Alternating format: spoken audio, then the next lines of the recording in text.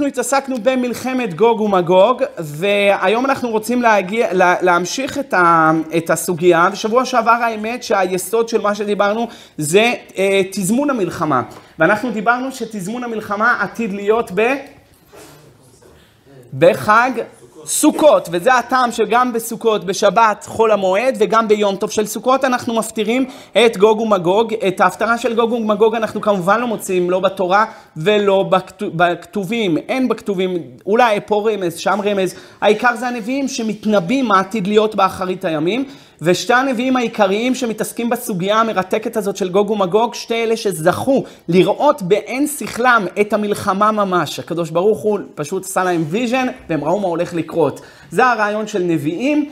אה, יש נביאים שרואים רק סימנים ורמזים ועל זה מתבססת הנבואה, ויש נביאים שרואים את הכל כאילו הם נמצאים שמה. הקדוש ברוך הוא לוקח את עין שכלם, אצל הקדוש ברוך הוא אין זמן, מגיד מראשית אחרית, והוא פשוט תופס אותם, מראה להם כמו ב... להבדיל להבדיל בטלוויזיה, אתה מעביר ערוצים, השם העביר אותו מההווה לעתיד, והם ראו את כל המלחמה, מה שעתיד לקרות, והעיניים שלנו למלחמה של מה שעתיד לקרות, זה העיניים של שתי הנביאים הגדולים האלה.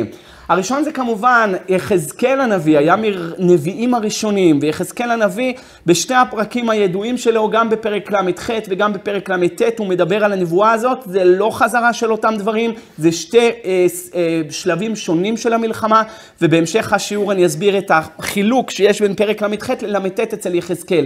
יחזקאל זכה והתנבא באחד הנבואות המרתקות האלה, של מלחמת גוג ומגוג, אבל גם שהוא היה גדול הנביאים יחזקאל הנביא, עד שהגמרא אומרת, ראתה שפחה על הים שלא ראה הנביא יחזקאל בן בוזי, זאת אומרת שיחזקאל היה מגדול הנביאים, והעיינים בגולה, ויפתחו לי ארובות השמיים, ואראה את השם יושב על היכל וכולי.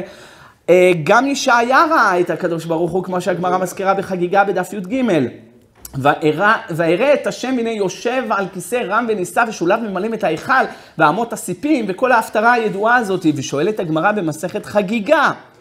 בדף י"ג אומרת הגמרא, אז למה יחזקאל לא... לא יחזקאל סיפר את הפרטים ופירט והעריך ו...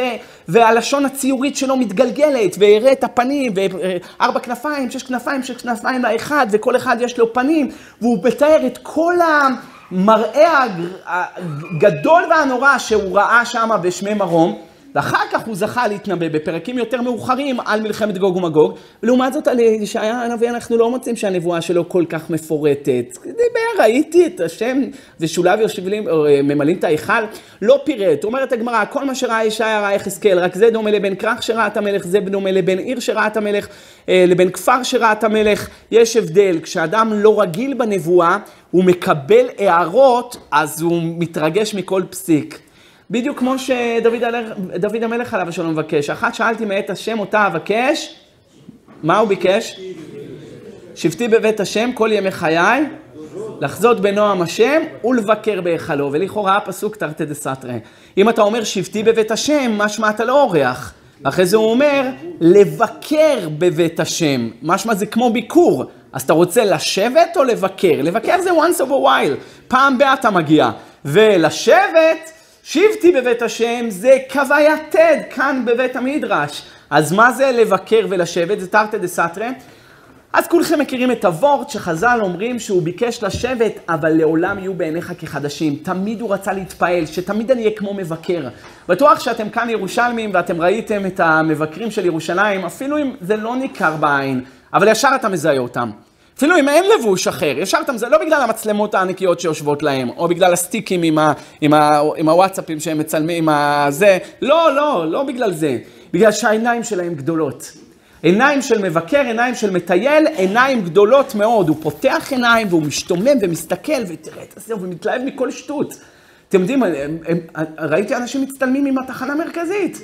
מה ראיתם בתחנה המרכזית? אבל כל דבר מדהים אותם, כי הם תיירים, תיירים, מבקרים. אבל לעומת זאת, אדם שהוא גר כאן, אז צריך הרבה מאוד עד שהוא מתרשם, עד שראש העירייה יעשה לו פסטיבל האורות בלילה בירושלים, עד שהוא רואה את זה, הוא מתרשם, הוא כבר רגיל לחומות, והוא רגיל למואזין, והוא רגיל לתחנה המרכזית, הוא רגיל להכל. דוד המלך רוצה, שבתי בבית השם, שאני אשב, אבל לעולם never get used to it. אני תמיד לא רוצה אף פעם להתרגל, אני תמיד רוצה לראות את התורה באורות חדשים. אז גם ככה, יחזקאל הנביא, כשהוא רואה את הנבואה הזאת על גוג ומגוג, הוא מתרגש, מה שהוא לא היה רגיל בנבואות, אה, ובחזיונות ובמעלות ובמדרגות שהשם נתן עליו. כמו שכותב הזוהר לידי, הזוהר שמות בדף ה'. הזוהר כותב שירד יחזקאל הנביא והתנבא בחוץ לארץ, ומיד הזוהר טמא, וזה גם גמרא במסכת מועד קטן כ"ה, איך יכול להיות שיחזקאל מתנבא בחוץ לארץ? הלוא אין נבואה בחוץ לארץ, נבואה היא רק בארץ ישראל. והזוהר מתרץ כמה תירוצים, זוהר ויצא פ"ב, ויש בזה עוד כמה מקורות בזוהר, שהם רק מי שמתנבא בארץ ישראל, מי שהתנבא כבר בארץ ישראל יכול להתנבא בחוץ לארץ, אבל אם הוא לא התנבא מעולם בארץ ישראל, הוא לא יכול להתנבא בחוץ לארץ. ויש לזה עוד כמה תירוצים, וכיוון שיחזקאל הנביא זכה לנבואה כאן בארץ ישראל, הוא המשיך להתנבא כאן. יש מי שאומר נבואה לשעתה הייתה, כיוון שהם היו שבורים, כתותים, הרוסים, ממש הם, הם, הם, הם, מיואשים. מחורבן הבית שעשה להם נבוכדנצר, הרי יחזקאל זה כמובן אחרי בית ראשון, אמרתי לכם שהוא נביאים ראשונים, אז הם כל כך היו שבורים עד שהקדוש ברוך הוא אמר אין ברירה, חייב לתת ליחזקאל נבואה לשעתה גם בחוץ לארץ. הקדוש ברוך הוא כל התורה בידיים שלו, ברצונו מקיים, ברצונו מבטל, ביטל את הכלל שהוא אמר אין נבואה בחוץ לארץ, ונתן ליחזקאל הנביא נבואה כדי לנחם את הגולים. כך מובא בזוהר, כדאי לפתוח את הזוהר הזה, כי זה very fascinated one, מאוד מרתק. זוהר שמות בדף ה' ואילך, והזוהר מעריך הרבה מאוד על הנבואה של יחזקאל הנביא. חוץ מיחזקאל, עוד זכה לראות את הנבואה, ואנחנו רואים את גוג ומגוג מתוך העיניים שלו, זה הנביא זכריה. ובפרק י"ג, י"ד, י"ד, שם זכריה הנביא מנבא ממש על המלחמה. יחזקאל מנבא על השלב הראשון והשלב השני של המלחמה, ולעומת זאת הנבואה של זכריה היא נבואת זעם. אבל לא זעם עלינו, זעם על אומות העולם, על הגויים, נבואה קשה ונוראה, כי זה החלק האחרון של המלחמה, ולה אנחנו ממש קוראים לב ליבה של מלחמת גוג ומגוג זה אצל זכריה, ולעומת זאת יחזקאל בשתי הפרקים הראשונים שלו, פרק הראשון, פרק ל"ח, הוא מדבר על השלב הראשון של המלחמה שהם עתידים להגיע לארץ ישראל. זה הפעימה הראשונה של גוג ומגוג.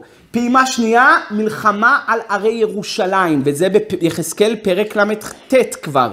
וזהו, כאן נעצר יחזקאל ולא ניבא, לא זכה לראות, אולי זכה, אבל לא ניבא לראות את המלחמה בתוככי ירושלים. ומי זכה לראות מה קורה בתוך ירושלים במלחמה? זה זכריה. והנבואה של זכריה מדברת על מה קורה כבר כאן. והוא מדבר שם כמובן על, על, על פצצות וטילים, וכמובן לא ב, ב, ב, בשפה המקראית של פצצות וטילים, ודברים רדיואקטיביים, ואתה רואה שאחד מחזיק את היד של השני, והיא עולה בידו, ולשונות תימק בפיהם, אתה רואים שיש פה כל מיני נשק אה, בלתי קונבנציונלי, מה שנקרא, ואנחנו נדבר על השתי נבואות האלה, גם של אה, אה, יחזקאל, גם של זכריה. יחזקאל, הנבואה הראשונה על ארץ ישראל כשהוא מגיע, גוג ומגוג. נבואה שנייה על הרי ירושלים, ומה קורה בתוככי ירושלים, בתוך השלב האחרון של המערכה, זה זכריה, ואותם אנחנו ניכנס לתוך העיניים שלהם, לתוך הנבואה שלהם, ונראה מה עתיד לקרות. אז אה, ברוך השם שבחר בנביאים קדושים ורצה בדבריהם הנאמרים באמת, ואנחנו כל כך שמחים על המלחמה, כי אנחנו מחכים לה. מחכים לה, זה טוב המלחמה. בלי מלחמה לא יהיה גאולה, אנחנו צריכים אותה. ולמה? הגמרא אומרת, זה לא שלי. אני מכיר את אלה שרוצים אה, להגיד, לא, אבל אה, שואה הייתה מלחמה, אבל כל הנבואות האלה זה בכלל לא, לא קשור לשואה. לא, לא, לא התקיים אפילו נבואה אחת בשואה, אז איך אתה רוצה להגיד שהשואה הייתה גוג ומגוג? וחוץ מזה, אחרי גוג ומגוג צריך משיח צדקנו להתגלות. מי התגלה? בן גוריון? מי התגלה? לא, באמת, מה זה הבדיחה הזאת שהשואה הייתה זה? ולא היה שם חצי ממה שכתוב בגוג ומגוג, אז מה, מה הבדיחה הזאת ש... שזה היה, שזה היה, שהשואה הייתה גוג ומגוג. כמובן. ברוך אתה אדוני, אלוהינו מלך העולם, שהכל נהיה בדברו. טוב, אז אה, להצלחה, אמנון, להצלחתך בעזרת השם. אה, אז, אז, אז נתחיל, בואו נתחיל בנבואה. קודם כל אמרנו שתחיית המתים עתידה להיות בפסח, ולכן אנחנו מנבאים בפסח, חזון העצמות, העצמות היבשות, זה הפטרה מאוד מרתקת. הנה אנוכי פותח את קברותיכם עמי והעליתי אתכם מאדמת ישראל, והבאתי אתכם אל, אל אדמת ישראל, ושמתי את ידי עליכם, וידעתם כי אני השם דיברתי ועשיתי. כל הנבואה הזאת מדברת על תחיית המתים, זה גם הטעם למה עוברים. מי משיב הרוח למוריד הטל, רמז לטל של תחיית המתים, שעתיד הקדוש ברוך הוא לקחת שם הוויה י' כ' ו' כ' ולהפוך את האותיות שלו, והאותיות האחרות זה כ' ו' ל' ו'. וכ' ו' ל' ו', גימטריה, טל, זה טל שיורד על הקבר ומקים את תחיית המתים, זה הכל בפסח, כי בפסח יהיה תחיית המתים, הכל מתחבר. פשט וקבלה, הכל מתחבר ביחד. אחרי שהפטרנו בגו, ב, ב, בחג הפסח על תחיית המתים, חזון העצמות, עוברים לחג הסוכות ומנבאים שמה את גוג ומגוג. בשבת, בשבת חול המועד וגם ביום טוב חול המועד, אחד זה את יחזקאל והשני זה את זכריה, שתי הנבואות האלה שמדברות על גוג ומגוג. אז קודם כל, מי זה גוג ומגוג? מי אלה? מי האומה הזאת? מי זה עתיד להיות? מה אתם אומרים? אז בואו נראה. אז קודם כל צריך להבין שגוג ומגוג זה, זה שתי דברים שונים. יש גוג זה המלך, ומגוג זה הארץ. ככה, הוא צריך לתת, לבוא מארץ מגוג. אז גוג, לך תדע. אני זוכר כשג'ורג' בוש היה בשלטון ב-United of State of America, אז אמרו, הנה ג'ורג', גוג. כמה. ושהיה אובמה, אז היה איזה אחד, הביא את הפרצוף שלו ופרצוף של פרעה, הנה, בבקשה, זה מתאים. לא משנה שזה הפך, הפך שער הגלגולים לחלוטין. כי כשאני לימדתי אתכם שער הגלגולים, אני אמרתי לכם שאדרבה, הקדוש ברוך הוא משנה לו את הקלסתר פנים, כדי שלא יזהו אותו המקטרגים מגלגול קודם ויגמרו אותו. אז הקדוש ברוך הוא בכוונה משנה לו את הקלסתר פנים. אתה לא דומה לקלסתר פנים שהיה גלגול קודם. ולכן יש גם איזה אחד אה, שהוציא ספר, אני מאוד אוהב את הרב הזה ומכבד אותו, אבל הוא הוציא ספר אה, ככה לחזרה בתשובה, והוא מביא דמויות תראה איך הפרצוף של זה מתאים לזה, והפרצוף שלו מתאים לזה. לא יודע, זה באמת צריך עיון מה, מה, מה מתאים, לא מתאים, כמובן, לא יודע. דברים, דברים בלי מקור. אני לא אוהב בלי מקור. אתם מכירים אותי, אני אוהב מקורות, לא אוהב דברים מצוצים והזויים. תביאו מקורות איפה צריך להיות פרצוף כמו הגלגול הקודם. זה בדיוק הפוך, לי יש מקורות שזה לא צריך להיות כמו הגלגול הקודם. ואני, יש לי מקורות גדולים, לא רק מרבנו הארי, גם הבאתי מקורות מהזוהר. אז היום אתם מקבלים מרכבות קודש, אבל תחכו שיצא מעשה מרכבה, שזה יצא בשישה כרכים. יש חלק אחד שנקרא אה, אה, על הגלגולים, תפתחו שם ותראו את כל המקורות שהבאתי על עניין הגלגולים, וודאי שצריך לא להיראות אותו דבר. אז גוג זה ודאי לא ג'ורג' בוש, וזה גם לא אובמה. בטח זה לא טראמפ, רציתם להגיד שזה, טראמפ זה כורש, מלך פרה, לא, קמן, לא יודע מי ממציא את הדברים האלה, והוא הולך עושה לך גימטריות, ואם לא מסתדר לו עם הכולל, ואם לא מסתדר לו אז הכולל והכולל, ואם לא מסתדר לו אז, אז זה גימטריה קטנה, ואם לא קטנה אז זה, זה עם הגימטריה הקטנה, וזה בלי האותיות, וזה עם ה... לא, לדחוק קביל של... בסוף הכל, הנייר סובל את הכל. וזה מביש, מביש. הפכו את התורה לממש, ממש קטנות, ממש קטנות. זה לא, זה לא צריך להיות ככה. אם יש גימטריה יפה, אה, ציון במשפט תיפדה ושביה בצדקה. ציון במשפט תיפדה גימטריה תלמוד בבלי ושביה בצדקה בגימטריה תלמוד ירושלמי. כשאמרו לריסקרוב את הגימטריה הזאת, אמר זה ברוח הקודש הגימטריה הזאת. וזה בול, לא עם הכולל, בלי הכולל, עם האותיות, בלי הזה, בדיוק, תלמוד בבלי, תלמוד ירושלמי, שעל מה אנחנו ניגאל? על זכות התורה. ציון תיפדה בזכות התורה הקדושה, כמו שמוכח מהזוהר, זוהר פרשת ויתחנן דף ר"ע, בזכות התורה אנחנו ניגאל. כך כותב גם הזוהר בפרשת ויקרא, בדף כ"ב, אינתי ועיון בעיו, שובו איתיו. אז ממילא התורה, בזכות התורה. זה גימטריה מרוממת אותך, ברוח הקודש. אבל ההוא בלי הכולל, עם הכולל, בלי הגימטריה, עם האותיות, בגימטריה קטנה, עם הכולל דה כולל. הכולל דה כולל דה כולל. איזה כולל? תגיד גם הישיבה. זהו, לא, אה, עם האותיות, בלי הזה, עם הזה. אז חבל, זה הופך את התורה להיות זולה וקטנה וחבל. התורה יפה ועשירה, תעמלו עליה, תמצאו בה הרבה טעמים. אה, כמו שאומרת הגמרא במסכת פאה בירושלמי בדף ג', מפני שאין אתם עמלים עליה, וכך כותב הזוהר ויקרא בדף ז'.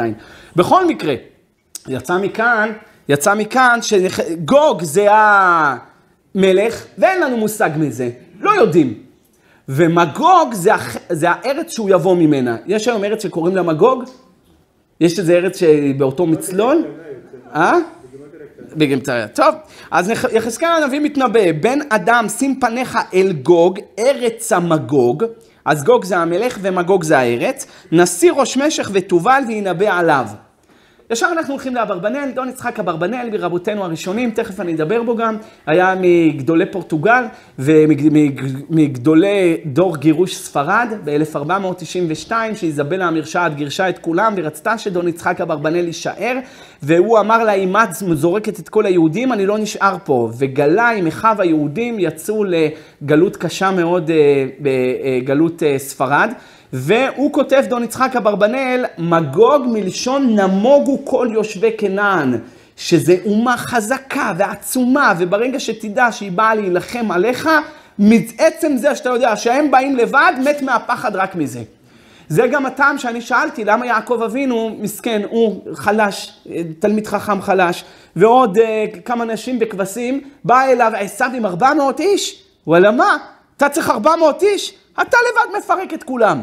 מה, אתה צריך ארבע... טוב, תבוא עם אריה הזוהם ויוסי הנואף.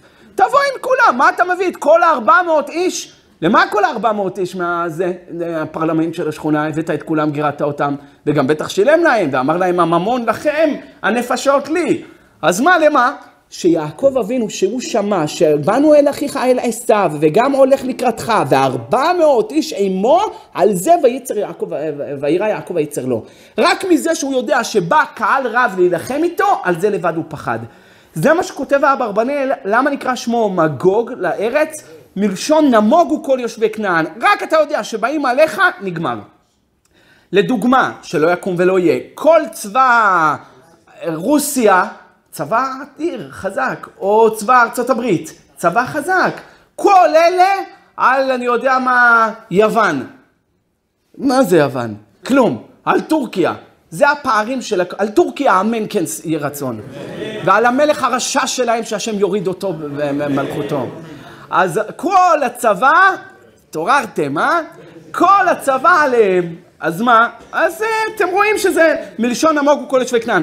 רבי חיים משה לוצטו עליו השלום, הרמח"ל, היה מקובל גדול. פעם אולי צריך לעשות לכם שיעור על מי היה הרמח"ל ועל איזה השגות גדולות הוא זכה אליהן.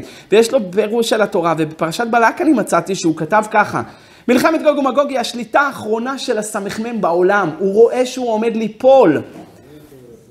יש תוספות יום טוב על מסכת אבות, שהתוספות יום טוב כותב שאדם לפני שהוא עומד להיפטר, הוא מתחזק ומדבר דברים של אדם בריא. אני לא, לא, לא יצא לי כאילו לקרוא, שלא יצא לי גם במציאות לראות את זה, אבל אני לא יודע, זה ככה באמת קורה? שאדם לפני שהוא עומד להיפטר, כמה דקות לפני הוא, הוא מדבר כמו אדם נורמלי, רגיל, הכל. הוא אומר, הוא, הוא אומר שכל הכוחות נפש חוזרים אליו בסוד אוסף רוחם יגבעון, אז קודם כל מוסיף להם את הרוחניות, מדברים, מתחזקים, ואז הוא נחתך ומת. כמו הנר, לפני שהוא דועך, הוא חזק, ואז הוא דועך. בדיוק אותו דבר. ככה עתיד להיות המלחמה האחרונה. סמ"ם לפני המחיקה הסופית שלו, הוא יתעורר להתחזק יותר בעולם, וזה גוג ומגוג. ככה מבאר הרמח"ל. שכמו אדם לפני שנפטר, זה לא המילים שלו בדיוק, אבל אני הוספתי את זה, כמו אדם לפני שנפטר הוא מתחזק, ככה סמ"ם לפני שהוא עומד לעבור מהעולם הוא מתחזק, וזה המלחמה וזה השליטה שלו לשלוט על הקדושה, ואז יהיה הבירור האחרון. למה השם צריך מלחמה? תביא את הכל בנחת, שיהיה בשמחה. יבוא עכשיו איזה שק שן מגיהנם, כל הזה כמו עם סנחריב, הישן וכולם פגרים מתים. קודם כל, זה ממש תוספת שלי שלא כתובה בשום ספר, אבל כשנהיה ראויים כמו אז חזקיה המלך ודורו שלמדו שישה בטלית אחת, אז אולי נלך לישון ונקום וכל האויבים שלנו מתו. אבל מה נעשה שהדור הזה מיוחד? אז מה נעשה שיש לנו את אלה עלינו, על הראש שלנו, אתם יודעים, בית הזה, שמה, ש... עוד יש להם אומץ לומר שכמו שעושים יום הזיכרון לחללי צה"ל, צריך לעשות יום הזיכרון לשהידים. ונתנו פסק שלהם שחייב לעשות יום הזיכרון גם להם, גם הם אה, אזרחי מדינת ישראל, גם להם צריך לעשות יום הזיכרון. מה יותר מגוחך מזה? זהו, ואני לא יכול לדבר יותר. אתם לבד, ואידך זה לגמור. לאן הגענו? לאן הגענו? אז ראש הממשלה אמר להם, איך זה יכול להיות? אבל זה, זה, איך אתה משווה את הדם של הבנים שלנו לדם של, של מחבלים, של אנשים שהם רוצחים? אבל בית המשפט היפה והנאור החליט לא. אין, הם גם אזרחי מדינת ישראל, עושים גם להם יום הזיכרון. עכשיו, 100 משפחות פלסטיניות של המחבלים יגיעו לטקס יום הזיכרון וידליקו להם אה, זה, וינציחו את ההרוגים שלהם כמו שמנציחים את ההרוגים שלנו. איזה בדיחה. פרדוקס, פשוט אין, לא יודע מה, איך ל... אין מילים, אין מילים, אין פשוט הפך כל, ה... כל ההיגיון. עבדים אשלו באנו פרקן מידם. אז יצא מכאן, יצא מכאן שאנחנו לא דור, הקליפה מתחזקת, נכון? אז אנחנו לא דור כאלה שנלך לישון וכל האלה ימותו. אז הקדוש ברוך הוא רוצה לעשות, אה, לעשות בירור. שלושה מטרות, אה, אה, שלוש מטרות מצאנו למה הקדוש ברוך הוא צריך את, את זה שיבוא במלחמה. מטרה אחת, שהיא המטרה העיקרית של כל המלחמה, גילוי וקידוש שמו בעולם. והתגדלתי והתקדשתי לעיני גויים רבים, ו... ונודעתי לעיני גויים רבים וידעו כי אני אדוני. על ידי האותות והמופתים שיעשה הקדוש ברוך הוא במלחמת גוג ומגוג, הקדוש ברוך הוא עתיד להתעלות. מה, תרא... הוא לא התעלה כי גאו גאה סוס ורוחבו. אומרת הגמרא, כי גאו גאה, הקדוש ברוך הוא הרים את השם שלו כשהוא עשה להם כאלה ניסים. אבל הרים את השם שלו כבר בעשרה מכות במצרים. לא דומה, לראות קובים של מים נפתחים. זה היה עשרה ניסים נעשו לאבותינו במצרים ועוד עשרה על הים ועוד עשרה במדבר. הניסים שהיו על הים, עשרה היו מפעימים. ולכן הקדוש ברוך הוא רוצה להרים את השם שלו. כשהוא מרים את השם שלו זה על ידי אותות. נורא תהילות עושה פלא. וכשהקדוש ברוך הוא עושה פלא, אז ממילא השם שלו מתקדש. זה הטעם הראשון למה צריך שזה יהווה במלחמה. לכאורה, אז שהם ימותו ותעשה לנו פלאות אחרים. אני יודע, פתח את הים, זה. כשבן אדם נחנק, דיברתי על זה שבוע שעבר, והקדוש ברוך הוא בא ומושיע אותו, יש לזה יותר היכר לישועה. כשקשה לך וצר לך ומישהו בא להציל אותך, כשאתה בצער וצרה וצוקה, יש לזה יותר. אמ, בעומק הדבר, שם של הקדוש ברוך הוא התקדש על ידי סנחריב ועל ידי פרעה ועל ידי טיטוס ועל ידי כל הרשעים שהם רצו להרוג אותנו ולהשמיד אותנו ובסוף תלו אותו ואת בניו על העץ. אם לא היה המן הרשע, לא היה לנו פורים. לא היה לנו את ההבנה שהקדוש ברוך הוא נמצא גם בתוך החיים שלנו, גם באסתר. אם לא היה פרעה, לא היה פסח. אם לא היה אנטיוכוס, לא היה לנו חנוכה. נמצא שהניסים הם באים מתוך החשיכה, מתוך האפלה, יש קידוש שמו של הקדוש ברוך הוא בעולם, ולכן צריך שזה יהיה מלחמה בצער, ואז על ידי זה הקדוש ברוך הוא יתקדש. טוב, טעם ש... זה גם הטעם, דרך אגב, למה אומרים, אומרת הגמרא פסחים קי"ח עמוד א', לא לנו אדוני, לא לנו, כי לשמך תן גבוד, אומרת הגמרא, זו מלחמת גוג ומגוג. אז תראה, עכשיו הבנתם למה הגמרא אומרת שזו מלחמת גוג ומגוג. למה? כי לשמך תן כבוד. התגדלתי והתקדשתי, יש כבוד לקדוש ברוך הוא כשיש את המלחמה. טעם שני, וזה טעם יותר מעניין, אה, כל הטעמים מעניינים, להיפרע מכל הרשעים. הגיע הזמן, מה שנקרא day pay, pay day, whatever, הגיע הזמן לשלם. עשקתם, עמדתם, מי יכול להוריד אותם אלה בשלטון? שיכול להוריד אותם? הם השולטים. מי שיכול לעשות דבר? קודשא בריחו. הוא מעדה מלאכין ומרעיד מלאכין. מה שהוא רוצה הוא יעשה. ולכן הקדוש ברוך הוא רוצה להתנקם, קודם כל בערב רב שהם התעללו בבנים של הקדוש ברוך הוא, וב' שרפו את ביתו, כל הגויים,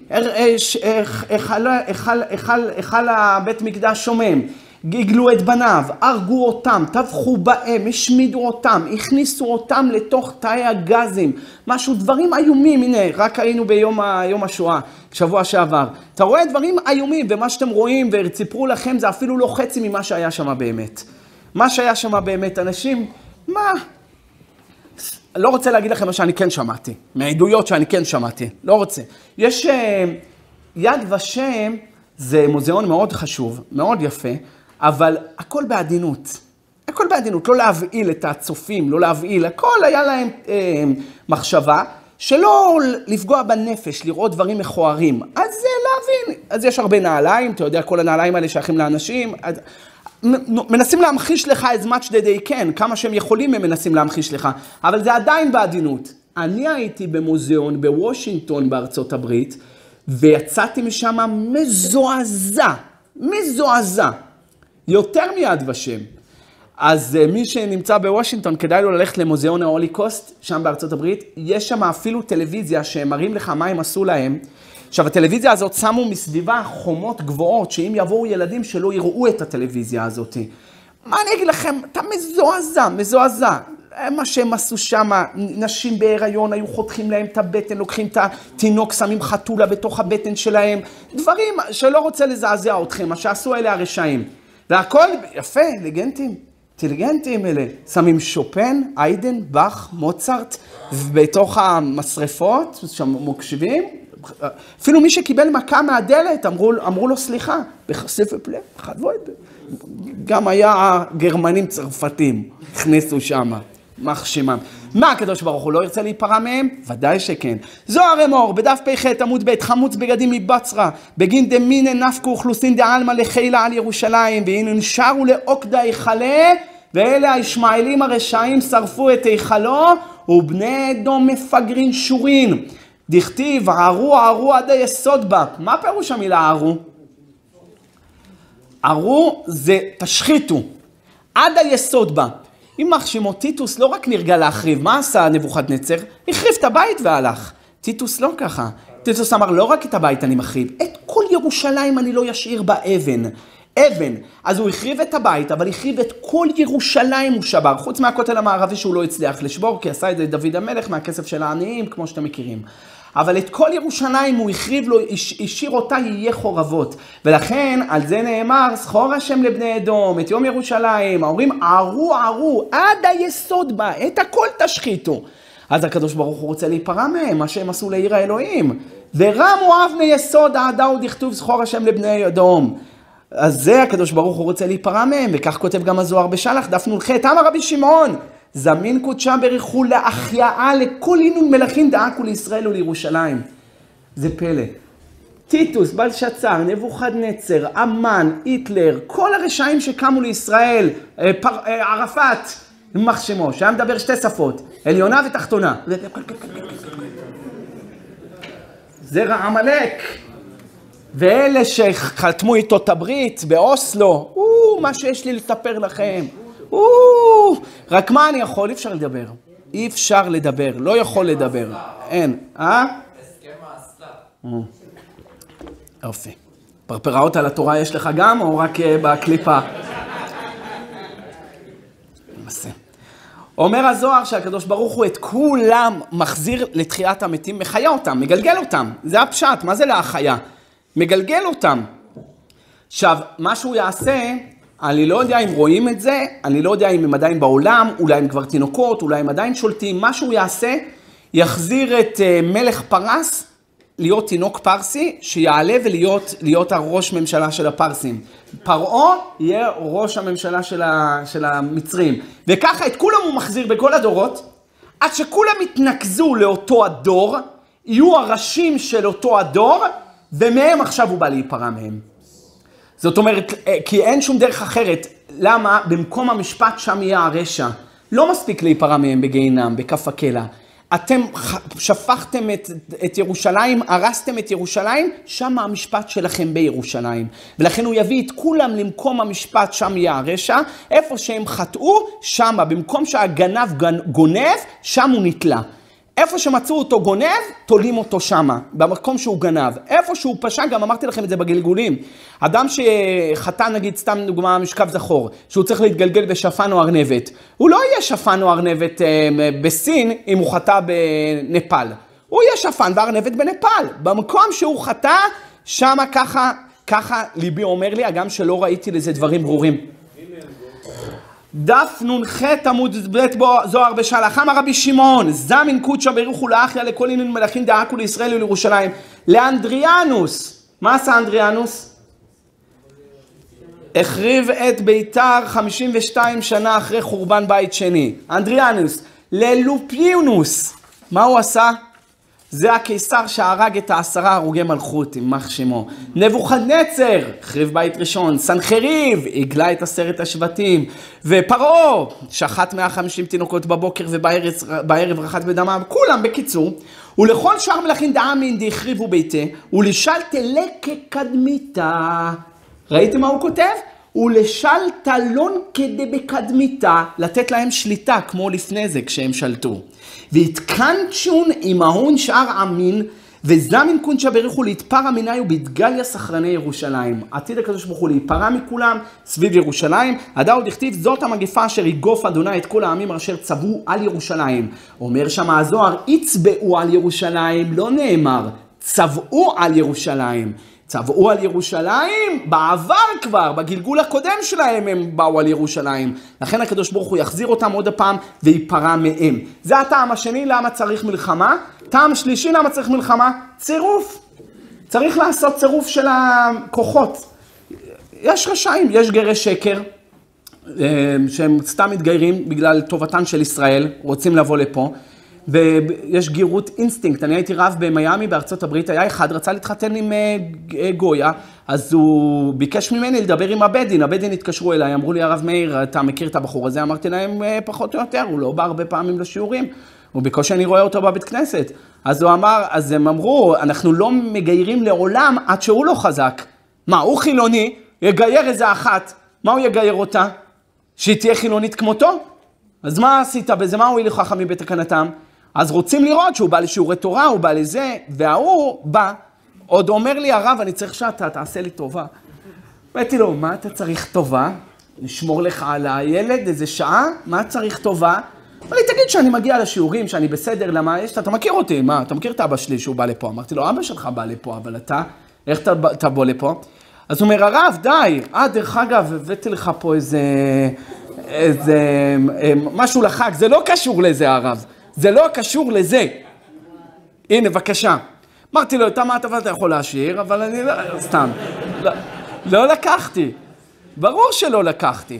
מה אתה רוצה, שאני אהיה... ש... איך אני אעמוד לפני הבית דין בשמיים? איך אני אדבר, מה אני אגיד לקדוש ברוך הוא, שמה, בשביל כסף אני, אני, אני נתתי יד לזה? אז זה לא אשמתי, זה אשמת הבית דין שהם יבדקו, אבל הם ישאלו אותי. הוא בא לבית כנסת, הוא מגיע פעם בבלו מון, מה שנקרא, פעם, בש... פעם בשנה. מגיע לזה, ובקושי גם, כל, כל הזה הוא בוא אליך, הוא אפילו לא קורא. אז איך אני אתן לזה יד? נו, ברור. היה איזה אחת בניו יורק, שהוא גם כן היה חילוני כזה, ואשתו גויה, התגיירה, אחרי שהיא כבר הייתה אשתו. התחילה ללכת לשיעורי תורה, התחזקה, התחילה לכסות את הראש שלה, והוא אמר לה, בואנה, פה לא יהיה כיסוי ראש, פה לא יהיה. אמרה לו, אבל אני יהודייה, אני רוצה לשים כיסוי ראש. אמר לה, לא יהיה. הלכה לשיעורי תורה, התחילה להעביר שיעורים לנשים הגויה. התחילה להעביר לשיעורים עד שהתגרש ממנה. לא יכל לסבול אותה, התחתנה עם אברך, יש לה היום עשרה ילדים בניו יורק, חרדית, מעבירה שיעורים, גויה שהתגיירה לשם שמיים, וההוא הלך להתחתן עם גויה אחרת. והגויה האחרת, אני חושב, רצתה להתגייר, אמר לה מנוע דג'אווה.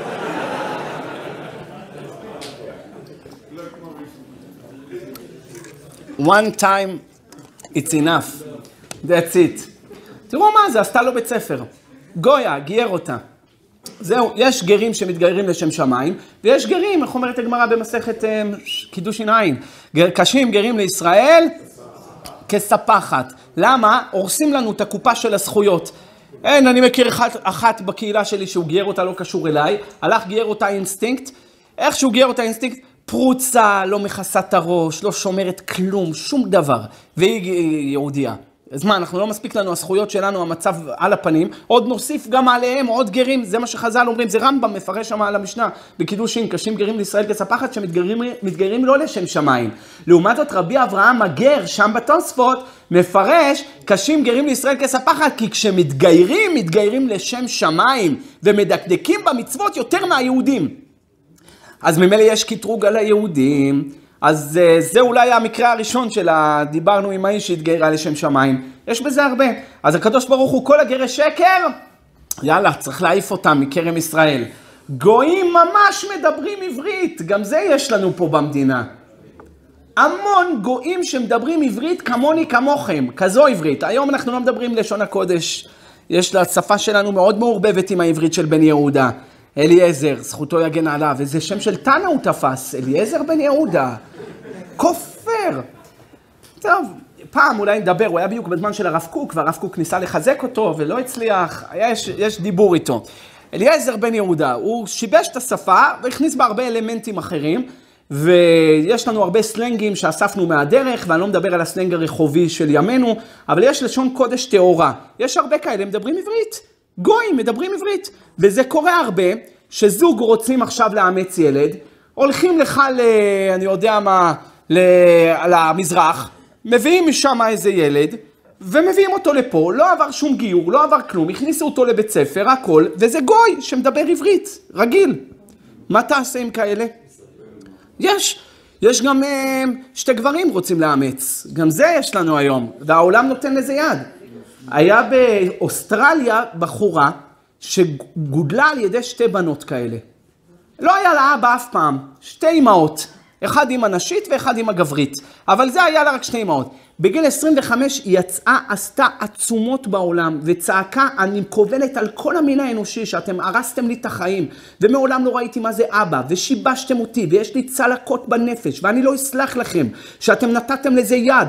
הנה בחורה שבאמת עברה את זה. אז אתם עוד רוצים לתת יד לזה שאלה, שתי, המוק, שתי המוקיונים, רוצים ללכת להביא מזה, לגדל ילדים? איזה דבר זה? זה הפך... עזבו יהדות. הפך היושר, הפך האנושות. רק מה? זהו, הכל, אוי ואבוי תדבר עליהם, אוי ואבוי. תפתחו בשו"ת מרכבות ארגמן חלק א', המהדורה השלישית, ברוך השם. בסימן ל"ב כתבתי תשובה ענפה על משכב זכור ועשיתי ממש אה, אה, אה, תשובה חדשה על כל הסוגיה הזאת. כדאי לפתוח את זה כי זה מאוד מאוד מרתק. זו תשובה מאוד מרתקת, שעבדתי עליה מאוד קשה ותחקרתי בחורים שעברו את זה.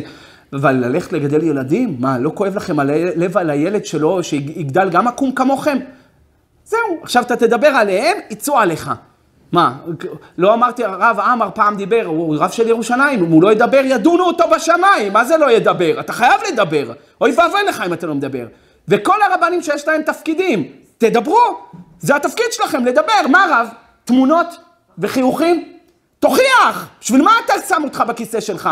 מה, אין לך פחד מהקדוש ברוך הוא? תראה את הרב עובדיה, היה לו פחד ממישהו?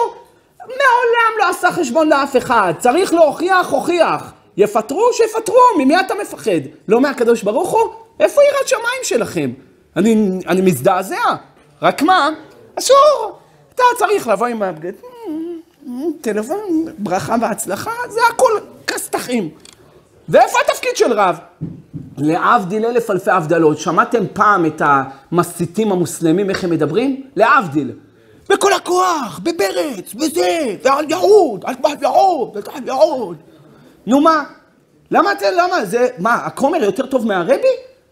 הכומר ייתן תוכחות לאנשי עירו במה שהוא מאמין, באידיאולוגיות שהוא מאמין בהן, והרבנים לא ייתנו את זה? אז למה שמו אותך איפה שאתה? בשביל מה שמו אותך? אתה לא רוצה, אז תרד למטה, אבל אתה כן רוצה, אז אתה שם, אז תדבר. אסור לדבר גם על זה, למה גם זה ילך ויגיע לאוזניים הלא נכונות, ואז כבר מסמנים. זהו. אז עכשיו יש גרי שקר, צריך להעיף אותם מעם ישראל. יש רבני שקר, שגם הם ערב רב, ורש"י כותב את זה מפורש, ויש לי לזה הרבה ראיות, שגם יש כאלה ערב רב רבנים, שגם זה, הקדוש ברוך הוא צריך להיפרע מהם ולהוציא אותם מכרם ישראל. יש גויים ממש מדברים עברית, מה שהזכרתי, גם אותם צריך להוציא מעם ישראל. ואת עלית על כונן הערב רב, שאומר הזוהר, קשים הערב רב לישראל יותר מאומות העולם. למה אומות העולם זה מבחוץ, ערב רב זה מבפנים. מה, איזה פסק מגוחך מה שהזכרתי מקודם לעשות יום הזיכרון לשהידים שרוצחים אותנו, אה? לא, בוא תסביר לרציונל שעומד מאחורי זה. אם לא, out of the nowhere, out of the blue. אתה לא יכול להבין את זה, אתה לא יכול להבין את זה. איזה היגיון יש בזה? שום היגיון, אין היגיון. נעשה יום הזיכרון לשהידים שרצחו את הילדים שלנו ונעשה להם כבוד. זה היגיון. אז זה כל הערב רב, אלה חסרי ההיגיון, הקדוש ברוך הוא, לא אנחנו. הקדוש ברוך הוא מהשמיים ממעל יבוא לעשות אה, מיפוי.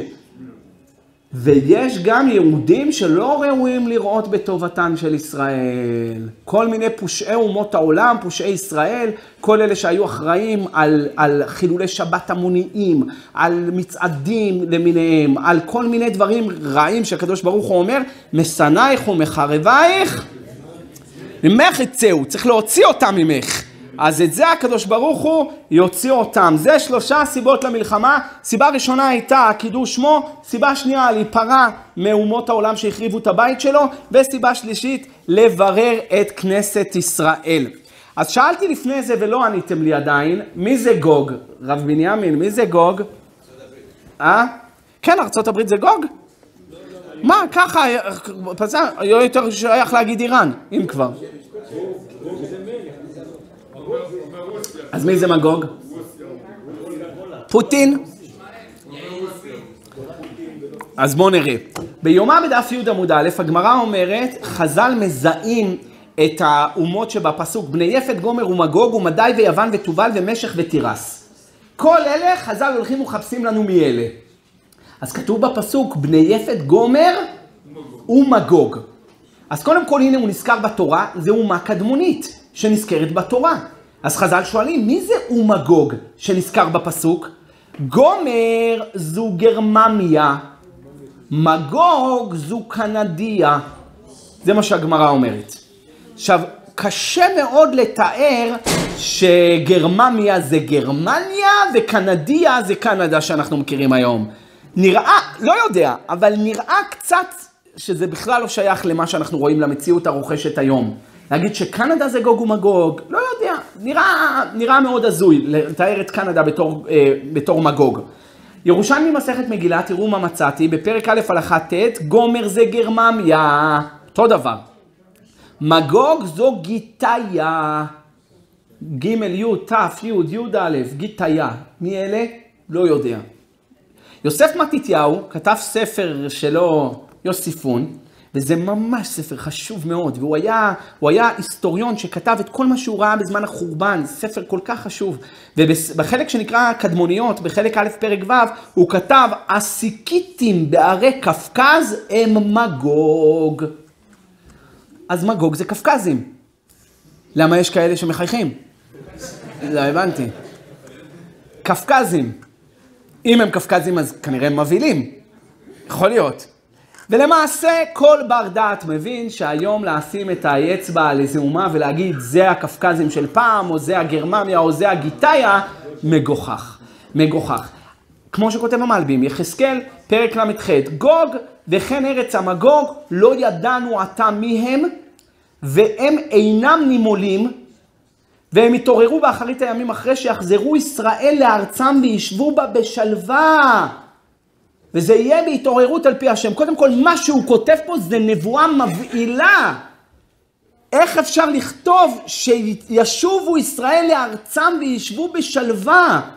אתם יודעים איזה היגיון צריך לכתוב דבר כזה? הוא מדבר שהיינו בגלות, הוא בגלות, אין ישראל. כל ישראל מפוצרים בכל ארצי העולם. ישובו ישראל לארצם וישבו בשלווה, זה מה שאנחנו היום. בהנחה שזה שלווה. על זה הוא מדבר. ואז התעורר, זה מדהים מה שכותב המלבים. מה ראשי תיבות מלבים? רבי מאיר בן... איפה אתה לקחת אותנו לרוסיה, הוא בכלל היה בוור... אה, טוב, הוא היה בוורשה האמת. אבל לא יהודה לב, יחיאל. יחיאל זה תימני, לא? אז איך רוסיה קיבל יחיאל? לא, אבל היה רבנו יחיאל, היה אשכנזי. טוב, שאלה. רבי מאיר ליבוש בן יחיאל, והוא למד בוורשה, הוא שימש שם בכמה קהילות. בשנת 1860 המלבים אה, מונה לרב ראשי של בירת רומניה. מה הבירה של רומניה? בוקרסט. בוקרסט. יפה, הלוואי גם גמרות ככה היית בקיא. בוקרסט. היה איזה אחד שאמר לי, אה, אה, בחור אינטליגנט, כיפה סרוגה, דווקא מאוד נחמד, הוא אמר לי שהוא הלך לחמיב, חמיב רצה לבדוק אותו אם הוא בחור אינטליגנט. אז איך בודקים, בודקים אם בחור אינטליגנט או לא אינטליגנט? אז זה, זה המבחן שלו. אל תנסו את המבחן הזה על החתנים המעוטדים שלכם, אבל זה המבחן שלו. הושיב אותו ואמר לו, מי זו ביר, ביר, בירת גרמניה? מי זו בירת רומניה? מי זו בירת רוסיה? מי זו בירת צ'כיה? מי זו בירת סין? מי זו פורת יפן? והוא היה צריך לענות לו על הכל במקום. אין גלגל הצלה, אין חצי חצי, אין חבר טלפוני. חייב מיד לענות לו, ואם לא, לא עבר את המבחן. והוא ברוך השם ידע את הכל כמו זה. ידע ישר, טיק טק ענה לו, אמר לו, או, איזה תלמיד חכם! או, הרים אותו על כפיים, ותלמיד חכם, אני יודע, זה מה ש... טוב, בוקרסט, בבירת רומניה, הוא היה הרב שלה, והוא לחם בעוז נגד הרפורמים המלבים, והם לא נשארו חייבים לו, הרפורמים הרשעים, לא נשארו חייבים לו, העלילו עליו עלילה, ונגזר עליו מאת עצר מוות. מוות, והוא היה אמור למות, כבר הכנסו, הכניסו אותו לגרדום, והוא היה צריך לצאת להורג, ואז הקדוש הנורא סר משה מונטיפיורי התערב פה, כי סר משה מונטיפיורי היה לו קשרים all over. היה מקושר לכל המלכים, והיה billionaire, סר משה מונטיפיורי, billionaire. אם הכסף שלו היה נכנס, היה משחד אנשים, היה צריך לפתוח דלתות, טק, טק, טק, טק, כל המפתחות. הכל, הוא קיבל תואר סר מה, מה, מהמלוכה האנגלית, כמובן, וסר משה מונטיפיורי, הרב עובדיה, כותב עליו הרבה דברים יפים ביביע העומר שלו. כמדומני חלק ז', סימן ל"ט ביורה דעה, שם הרב כותב שם שהוא בנה בירושלים שבעה אה, שכונות. כל השכונות שנקראות משה זה על שמו. אה, ימין משה, מזכרת משה, משכנות אה, שאננים, זה גם הוא כתב, אה, קריית משה, כל המשה זה הוא, והוא נתן חינם אין כסף, בואו תגורו. חינם אין כסף, גם ימין משה, זה היה הכל, הוא בנה את הכל. היום הוא לא היה מאמין בחלומות הפרועים שלו שבית יעלה שם עשר מיליון שקל. שהוא מכר את זה, הביא את זה חינם לאנשים. האומללים הספרדים היו יושבים שם, מסכנים היו יושבים שם, סבלו את כל התותחים של הירדנים, ואחרי שברוך השם נהיה שלום ושגשוג, באו הסוסייטי, העיפו אותם לקטמון, ולקחו את הכל שם, עשו להם שם... אנשי רוח. אנשי רוח. הרבה רוח, הרבה חמין. מה נעשה? בקיצור, סר משה מנטיפיורי עליו השלום, הוא גם בנה את האבנים הקטנות בכותל למעלה. הוא גם בנה את הקבר של רחל אימנו, את הצורה של הקבר. הוא קבור ב, אה, ליד לונדון, חצי שעה נסיעה מלונדון. אני הייתי בלונדון, אז מישהו אמר לי, בוא ניסע לקבר של סר משה מנטיפיורי. אמרתי לו, כמה זמן זה מפה? אמר לי, זה חצי, אולי 40 דקות מפה, הייתי בלונדון. אז אמרתי לו, לא, 40 דקות אני לא נוסע. זה it's way too much, way too much. אפילו למלכה... שהלכתי לשם, לא רציתי ללכת, עד שאמרו לי שחכם עובדיה, הוא בעצמו הלך לראות את הארמון. אמרתי לו, ויצאה? או הנהג שלקח אותו אמר לי שחכם עובדיה שאל אותו לפני שהוא יצא מהאוטו, יש לך מי קולון? יעני בושם? אמר לו הרב, מה אתה צריך בושם? אמר שאם המלכה תצא, שאני אהיה מכובד. שלעולם ירוץ אדם לראות במלכי בשר ודם, שאולי יזכה יראה במלך המשיח. צריך לעשות כבוד מלכה. יש לך בושם? אנחנו כולנו עם בושם בלי לראות את המלכה. טוב, אז הוא יצא, אמרתי לו, נו, והיא יצאה? אמר, לא יצאה. הייתה יוצאת, אתה יודע, חכם עובדיה מגיע אלייך, את לא תצאי, תציעי לו, tea with בדל קוקיס? לא תציעי? עוגיות חמאה? לא, לא הציעה. טוב, לא נורא. אבל אז הלכתי, ראיתי שעמום נורא, הייתי עסוק באמצע תשובות, לא רציתי לעזוב. לא נורא, כל שכן לנסוע 40 דקות עד לסר משה מנטיפיורי, לא זכיתי, אבל אני הבנתי שהוא בנה את אותו מתחם, הוא בנה לעצמו שמה, לא ולאשתו יהודית, הוא בנה שמה ב- בלונדון, ליד לונדון, וסר משה מנטיפיורי התערב כאן ועזר למלבים לצאת מהכלא, שיחד את מי שהיה צריך לשחד, ברוך השם, אה, ויש כזה, הוא האריך ימים גם. שהיה עמוס מונטיפיורי בן 80, באו אליו מלאכי השרת, כן, שיר כזה, כן, של אה, הגאון. אז... אה, כן, השם ירחם עליכם. אז... אה, ועליו. אז אחר כך, התנאי של להוציא אותו, להוציא אותו אה, מהכלא היה שהוא עוזב את רומניה. רומניה no more, אתה לא יכול להיות יותר ברומניה, ואז הוא גלה לרוסיה, ושימש שם גם כן ברבנות, וכל ימיו השקיע את הפירוש שלו על הנביאים וכתובים, והוא נפטר בשנת 1879 בקייב. איפה קייב? היום זה אוקראינה, אבל אז היה רוסיה. ברוסיה, אה, אה, ושם הוא נפטר ושם הוא נקבר כנראה, המלבים. לנבא דבר כזה שישראל יחזרו למקומם באחרית הימים ו- וישבו בשלווה ואז גוג ומגוג יתעורר עליהם, זה ממש נבואה. זה מזכיר לי את מה שהבן איש חי התנבא. באו לבן איש חי, אמרו לו, הנה יש כסף, בוא תבנה ישיבה. אמר לו, איזה ישיבה אתה רוצה? אמר לו, אני רוצה ישיבה של תלמידי חכמים שתגדל צדיקים, קדושים, טהורים, בעלי בתים ירא שמיים, בפשט ובקבלה. אמר לו, כמה כסף יש? הביא שם סכום עתק. בוא נגיד היום איזה, אני יודע מה, 40 מיליון שקל. משהו רציני, סכום סכום הביא.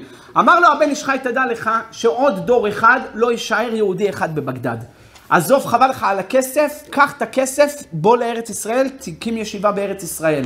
ואז הם הלכו וקנו את הישיבה של פורת יוסף, לכן זה נקרא שמו יוסף, על שם יוסף חיים, ואת הישיבה הזאת, את האדמה, הם קנו בכסף עצום מהישמעאלי שהיה, שהיה היה האדמה בבעלותו.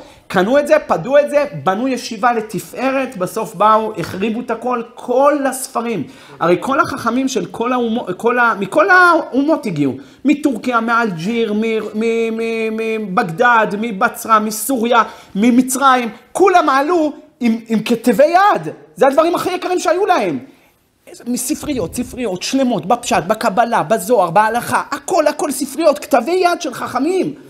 הכל בעל הגיון הירדני, נתן שם מטיל, כל הספרייה עלתה בלהבות.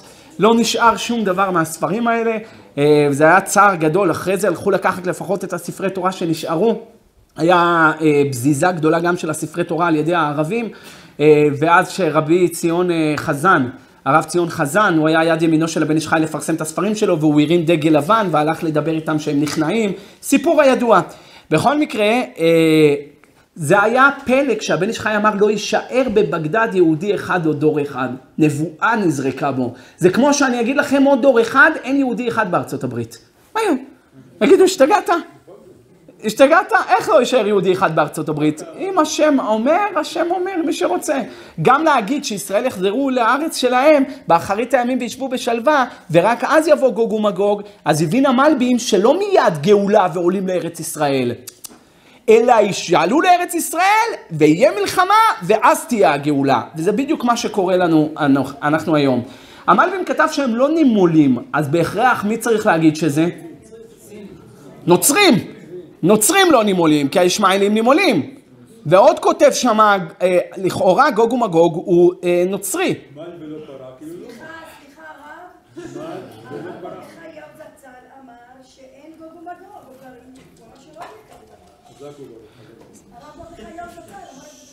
אני שומע, אני שומע, אבל איך הוא מפרנס את כל הכתובים?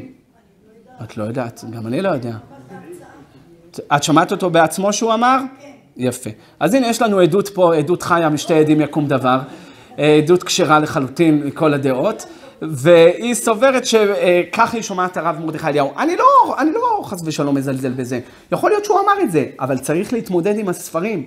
צריך להתמודד. וחוץ מזה, שיש אין ספור מדרשים וזוהר וגמרות וחז"ל שמדברים איך תהיה המלחמה ומה תהיה המלחמה. אז איך אפשר להגיד שזה השואה? אני דיברתי על זה בהתחלה. לעניות דעתי צריך עיון, בוא נשאיר את זה שם. לא צריך, לא צריך ליישב כל דבר. תכף נגיע לזה, תכף נגיע. אז המלבים כותב שם השם גוג והשם מגוג כבר השתכח באחרית הימים. הוא אומר, ישכחו שזה השם שלו, גוג ומגוג. ורק כשיבואו על הארץ יבינו ישראל, אה, זה התכוון הנביא גוג ומגוג, עליהם, על שתי אלה. והרד"ק כתב שם שבני מגוג נסגרים בסוף ערי הצפון, כי אלכסנדר מוקדון סגר אותם שם. כלומר, תיזכר בפני, בפי העולם, היינו אומה אנונימית, אנונ, אנונימית. אין, לא יודעים מזה. זהו, לא יודעים מזה. כאותו הדברים כותב גם השאלה הקדוש, בשער ג' בפרק י"ב בקיצור השאלה, גוג ומגוג שוכנים אחרי דלתות הברזל. לך תבין מה זה. דלתות ברזל. לסנים יש דלתות ברזל? לא יודע. צורותיהם אנושיות, מידותיהם כבהמות, לא ידעו הנהגה, לא מקח, לא ממכר, לא סחורה, לא אומנות, לא חרישה, לא זריעה, פרא אדם. מי אלה? I have no idea. לא יודע. דומה קצת לעשרת השבטים שסגורים אחרי הרי החושך. יש לי ספר מאוד עתיק בבית, נקרא אלדד הדני. ספר מאוד ישן, אני חושב שזה הספר הכי ישן שיש לי. אלדד הדני. אלדד הדני, הוא היה משבט דן, הרב חידה שם את הידיים שלו על הספר הזה, אז כנראה שבאמת יש, יש דברים בגו, וסמכו על זה חז"ל. הספר הזה מדבר על אחד משבט דן, קראו אותו אלדד. שהיה להם צרות שם בעשרת השבטים, מאחורי הר החושך ונהר סמבטיון, אז היה להם איזה צרות, שלחו אחד מהם, שקראו אותו אלדד, לחכמי ירושלים, שעזרו להם לפתור את הצרות שיש להם בתוכם, מיני ובה, בתוכם ובתוך עצמם. וכשבאו חכמי ירושלים ובחנו אותו, וכולם היו מקובלים ובעלי רוח הקודש, אין כאן זיופים, זה לא היום עשו לך פוטושופ. זה מישהו רציני שבא מאחרי אה, ערי החושך ונהר סמבטיון, והתחילו לדבר איתו, וגילה להם כמה הם נמצאים שם, וכל מה שאנחנו יודעים על עשרת השבטים, מעדות אותנטית שהרב חידה מעיד שזה הכל אמת. אה, הספר הזה, אלדד הדני, לא מוכרים אותו היום, אולי אפשר למצוא אותו בספריות עתיקות. ספר אלדד הדני, אה, והוא מדבר שם את כל מה שקורה עם עשרת השבטים, העיניים שלנו לעשרת השבטים זה הספר הזה, אלדד, הדני. כדאי uh, להשיג את הספר אולי, ב, אולי באוצר החוכמה, אולי בכל מיני תוכנות מחשב למיניהם, אין לי מושג, אבל אפשר לקרוא את זה ולראות דברים נפלאים, מה שהוא כותב. כמו שעשרת השבטים מאחורי הרי החושך ונהר סבטיון, גם uh, הגוג ומגוג, כותב הרד"ק והשאלה, הם מאחורי דלתות ברזל, מתי שיהיה, הם יצאו, וזה אומה שאנחנו לא מכירים, אף אחד לא הכיר אותה. אני בכלל, התיאורים של השאלה מבהילים. גוג ומגוג שוכנים אחרי דלתות חושך, אה, דלתות ברזל, צורותיהם אנושיות, מידותיהם כבהמות, לא ידעו הנהגה, לא מקח, לא ממכר, לא סחורה, לא אומנות, לא חרישה, לא זריעה. זה נשמע כאילו זה חיות. חיות רעות, כן. אז, אז זה מפחיד. אז פה אתה כבר מדבר על תסריט אימים, שזה באמת מבהיל. לא שהצבא הרוסי הוא פחות תסריט אימים, אה? חרשו. אבל אה, ת, תמיד אה, יש, יש. שתו את ה... אז איך אנחנו אמורים להצליח עליהם? איך אנחנו אמורים, ל... איך אנחנו אמורים לגבור עליהם? אז, אז אתם תראו שלא מיד הקדוש ברוך הוא נכנס למלחמה, לא, יש שלבים. בשלבים האלה בעזרת השם אנחנו נדבר בשבוע הבא ונסביר לכם את כל המהלכים של המלחמה, מה עתיד לקרות. רבותיי, מי שרוצה את ה-USB החדש שלנו, שו"ת חלק א' החדש וספר מרכבות קודש, יוכל להשיג אותם כאן. הקדוש ברוך הוא יגזור עליכם ועלינו גזרות טובות, ישועות ונחמות.